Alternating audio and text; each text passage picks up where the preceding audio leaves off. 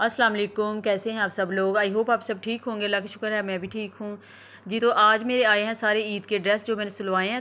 तो मैंने सोचा मैं आपके साथ भी शेयर करती हूँ। सबसे पहला ड्रेस जो है, इसका मैंने गला बेशे में रखा है। दो कलर की लेस है, गोल्डन और पिंक कलर की।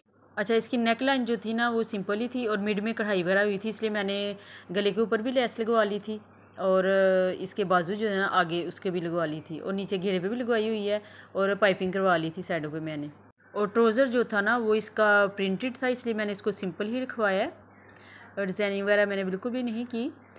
और दुपट्टा जो है ना, इसका मल्टी कलर का है, देख सकते हैं आप, डिफरेंट कलर है इसमें। और ये है मेरा दूसरा ड्रेस, ये मैं फ़र्स्ट डे वेयर करूँगी। ये है मेहंदी ग्रीन कलर और शॉकिंग पिंक टाइप कलर है इसमें। और इसकी जो है ना नेक लाइन है, ये ऊपर से ज़रा सिंपल ही था। अच्छा गले पे मैंने पाइपिंग करवा ली थी और आगे छोटी सी वी बनवा के और नीचे मैंने ये चार पाँच टसल लगवा रही हैं, देखिए। ये बहुत ही खूबसूरत लग रहे हैं टसल्स। तो इस तरह ये है कि गला मेरा थोड़ा सा ना अच्छा सा बन गया इससे। और इसके अलावा जो बाजू है ना, इनके आगे ऑलरेडी एम्ब्रॉयडरी वगैरह हुई हुई थी, इसलिए मैंने इसके कोई मतलब ज़्यादा डिज़ाइनिंग वगैरह नहीं कराई। सिंपल पाइपिंग करवाई है। इसी तरह नीचे भी एम्ब्रॉयडरी हुई थी तो मैंने नीचे भी पाइपिंग करवा ली है। देख सकते हैं शॉकिंग पिंक कलर की मैंने करवाई है पाइपिंग अच्छा ट्रोज़र पे ना दो प्लेट्स मैंने ऊपर डलवाए हैं, दो नीचे, और फिर मैंने सीढ़ी लेस सेंटर में लगवा लिया शॉकिंग पिंक कलर की। और दुपट्टा जो था ना इसका वो भी बहुत कलरफुल था तो मैंने इसको ना पाइपिंग करवाई है गोल्डन कलर की, जो कि बहुत ही उठ रही थी सूट के ऊपर, ये देख सकते हैं, ये मैंने गोल्डन कलर लगवाया है इसके ऊपर। अभी मैं आपको दिखाती हूँ ओवरऑल लुक ड्रेस की, ये देख सकते हैं आप। तो अभी चलते हैं नेक्स्ट ड्रेस की तरफ़, ये है मेरी बड़ी बेटी का सूट पर्पल पिंक और वाइट कलर है इसमें। ये मंगवाया था जी गुल अहमद का, ये ऑनलाइन मंगवाया था तो इसके गले के ऊपर बैन बनवा लिया था। आगे भी ये थोड़ी सी रख के ना ऊपर ये हमने ये कपड़ा जो था ना शर्ट के अंदर से ही बॉर्डर बना हुआ था नीचे। तो ये मैंने ना गले के ऊपर इस तरह इसकी डिज़ाइनिंग करवा ली थी। और आगे ये फ्रिल बनवा के ना उसी कपड़े की तो ये आगे बाजुओं के आगे इस तरह से लगवा ली थी।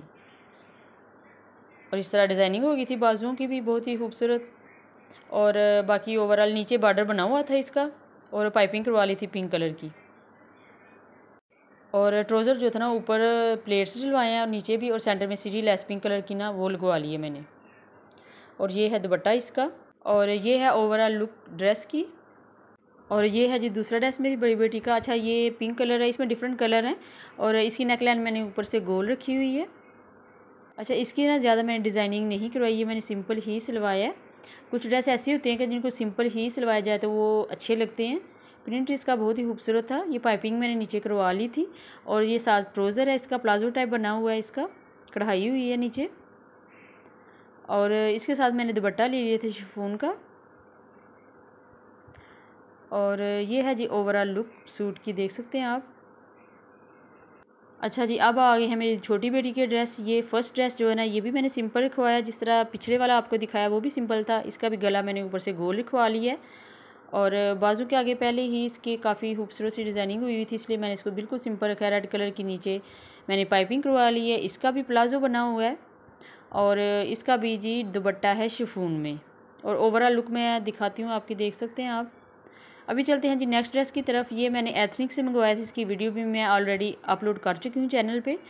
अच्छा ये पर्पल कलर का इसके साथ मैंने ऑरेंज टाइट्स और दुबट्टा जो है ना, वो भी ऑरेंज ही रखा है इस सूट के साथ। अच्छा इस ड्रेस के साथ ना वाइट कलर जो था ना, वो भी चल सकता है, लेकिन मेरी बेटी ने कहा कि मुझे ऑरेंज पसंद है तो फिर मैंने ये ले लिया था। तो ये है जी ओवरऑल लुक इस ड्रेस की। तो गाइज़ अब अफ्तारी का टाइम हो गया है और मामा अफ्तारी बनाने चली गई हैं, क्योंकि चाँद रात भी है तो काफ़ी ज़्यादा काम वगैरह हैं। तो अब मैंने कहा, ज्वेलरी आपको मैं दिखा देती हूँ। तो यहाँ पर ये एक मामा ने हेयर बैंड लिया था मेरी छोटी सिस्टर के लिए। और ये पोनी है, ब्लैक की भी उसी के लिए लिया था और ये कुछ पिंस थी। और इसके अलावा ये एक ब्रेसलेट लिया था। और इसके अलावा कुछ चेन्स वगैरह ली थी। तो ये वाली जो है, मामा ने अपने लिए ली थी। मैं आपको ओपन करके दिखा देती हूँ। ठीक है, इस तरह से ये कुछ चेन जो थी, ये वाली बनी हुई थी। लॉकेट और इसके अलावा ये एक और चेन ही थी, ये मैंने अपने लिए ली थी। ये भी मैं आपको ओपन करके दिखा देती हूँ। ठीक है इस तरह से ये बनी हुई थी। तो अब मैं आपको इयरिंग्स वगैरह दिखाती हूँ जो हमने लिए थे। तो सबसे पहले ये हुप्स बालियाँ टाइप हैं, ठीक है? तो ये बहुत प्यारी सी लग रही थी मुझे। तो मैंने ली थी, वैसे मुझे पता है बहुत बड़ी हैं। तो जो थी एक ये ली थी। तो अब ये गाइस कुछ स्टर्ट्स और टॉप्स वगैरह हैं। तो मैं ये भी आपको ओपन करके दिखाती हूँ। तो ये सबसे पहला वाला आपको पेड़ नज़र आ रहा है ना। ये स्टड्स हैं, ठीक है, आप देख सकते हैं, वाइट कलर के पर्ल्स लगे हुए थे और बीच में ना एक स्टोन लगा हुआ था, बहुत प्यारा लग रहा था। ये जो है मैंने अपने लिए लिए थे। इसके अलावा ये जो छोटे छोटे टॉप्स हैं, ये मामा ने छोटी बहन के लिए लिए थे और कुछ ना रिंग्स वगैरह हैं। इस तरह से आप देख सकते हैं। और ये कुछ रिंग्स वगैरह जो ली थी।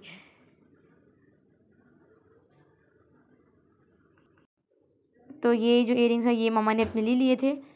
बहुत प्यार से पीकॉक से बने हुए थे, ठीक है? तो ये नीचे ये रिंग है और ऊपर वाले दोनों ना इयरिंग्स हैं, ठीक है?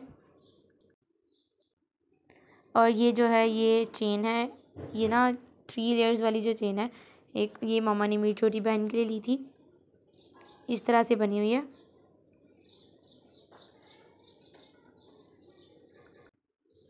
और ये कुछ कैचर्स हैं, ये मामा ने लिए थे और इसके अलावा चूड़ियाँ ली थी। तो मैं आपको दिखाती हूँ। ये जो पिंक वाली है, मैंने ली थी और ऑरेंज वाली मेरी सिस्टर की हैं। उसके बाद ये वाली चूड़ियाँ, ये मामा ने अपने लिए ली थी। मामा का ड्रेस मल्टी कलर में था तो ये फोर शेड्स में मामा ने चूड़ियाँ ली थी और ये पर्पल वाली भी मेरी सिस्टर की हैं। ठीक है तो ये थी आज की ज्वेलरी की शॉपिंग जो हमने की थी। तो उम्मीद है आपको आज का ब्लॉग पसंद आया होगा। अगर वीडियो पसंद आई हो तो वीडियो को लाइक शेयर चैनल को सब्सक्राइब ज़रूर कीजिएगा। मिलेंगे आपसे नेक्स्ट वीडियो में। अल्लाह हाफिज़।